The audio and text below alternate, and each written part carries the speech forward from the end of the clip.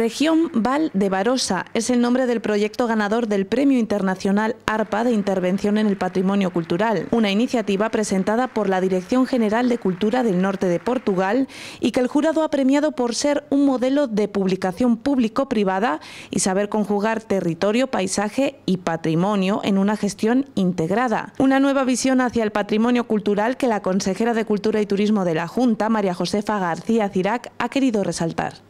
El Congreso que hemos celebrado durante estos días nos ha permitido llevar a cabo una reflexión sobre el cambio de estrategia que vive el patrimonio cultural, desde una consideración más académica, más eh, tradicional, más estática, hacia un planteamiento acorde con los tiempos que nos toca vivir y en este sentido hacia un patrimonio cultural cuya gestión inteligente y sostenible nos permita a la vez la generación de territorios, ciudades y sociedades inteligentes. La entrega del galardón en el Centro Cultural Miguel Delibes de Valladolid ha estado acompañada por un reconocimiento al resto de las ocho candidaturas seleccionadas, así como de la concesión de varios premios en diferentes categorías. Las universidades de Salamanca, Alcalá de Henares y Coimbra se han alzado con un galardón honorífico por la protección de sus sedes centenarias.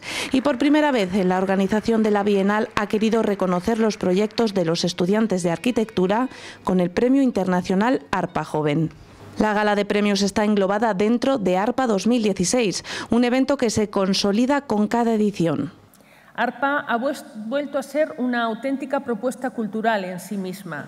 La música, el teatro, la danza y especialmente la propuesta arquitectónica han hecho de esta edición un auténtico evento cultural. Ha sido también una verdadera satisfacción para nosotros comprobar el respaldo masivo de ciudadanos, de familias, de jóvenes, de miles de escolares que han participado en más de 200 actividades. Ellos son el futuro del patrimonio y a ellos queremos dedicar nuestros esfuerzos. Este año ARPA ha contado con Portugal como invitado especial.